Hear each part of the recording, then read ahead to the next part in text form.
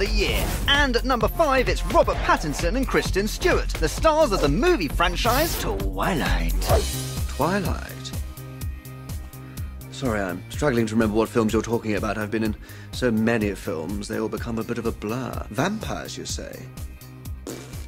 Dunno. Can't remember.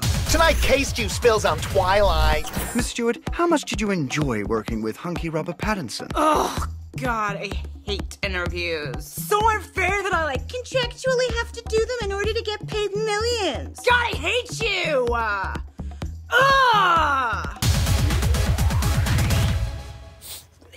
The world was spellbound by the Twilight Twosomes' unbelievable sexual chemistry.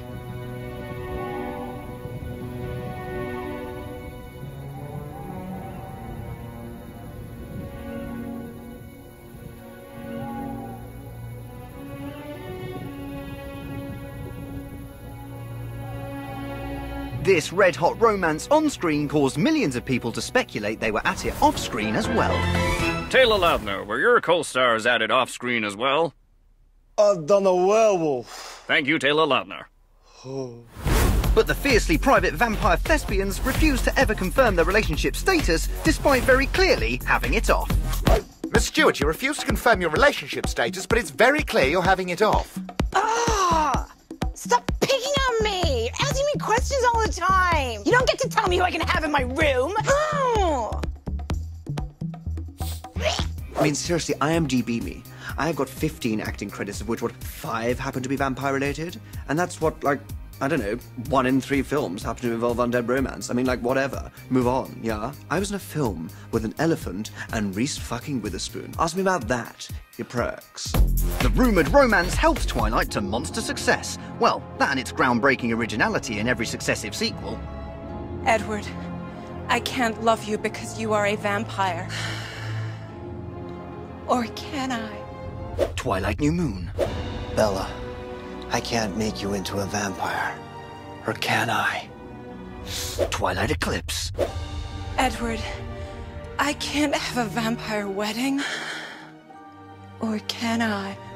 Twilight Breaking Dawn Part 1.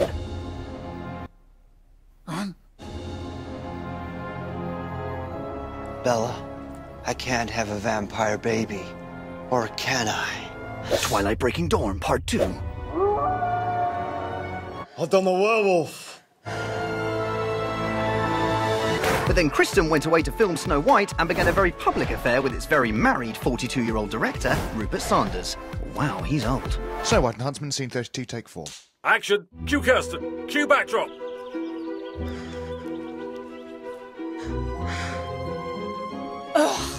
The evil queen is like such a total bitch for giving me this apple. My god, your performance is electrifying. I simply must have you. What's that smell? It's my armpit. I must have you. The affair was short lived, but the damage was done. The tryst of the Twilight twosome was in tatters, and someone was left feeling just a little bit bitter. I don't really want to discuss that time in my life. I mean, I've moved on from it all now. And I've grown as a person and an actor. But the people I really feel sorry for are the Potter kids. I mean, the fucking ginger one can do as many Julie Walters films as he wants. But you're Ron Bloody Weasley, darling. End of. But ask the person in the street, who is Robert Pattinson? Uh, he's that guy that did that sweet David Cronenberg film. Am I right? I mean, no one talks about vampires. Not now. Not ever. Never. No one. Has someone put blood in my goblet?